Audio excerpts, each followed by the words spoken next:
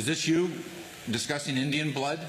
We're going to judge people by whether they have Indian blood, whether they're qualified to run a gaming casino or not? Uh, I, that probably is me, absolutely. Because I tell you what, if you look, if you look at some of the reservations that you've approved, you, sir, in your great wisdom have approved, I will tell you right now, uh, they don't look like Indians to me, and they don't look like to Indians. Now, maybe we say politically correct or not politically correct. They don't look like Indians to me, and they don't look like Indians to Indians. And a lot of people are laughing at it, and you're telling how tough it is, how rough it is to get approved.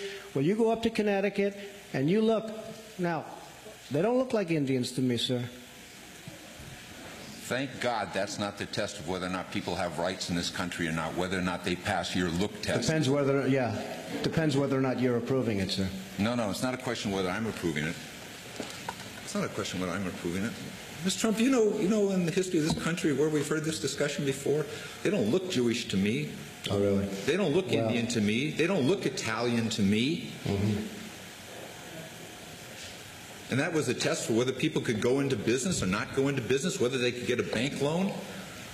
You're too black. You're not black enough. I want to find out. You- a- well, then why are you appro you're approving for Indian? Why don't you approve it for everybody then? sir? That's not a- if your case is non-discriminatory, why don't you approve for everybody? You're saying you only Indians. Wait a minute, you sir. stand for it You're saying minutes. only Indians can have the reservations. Only Indians can have the gaming. So why aren't you approving it for everybody? Why are you being discriminatory?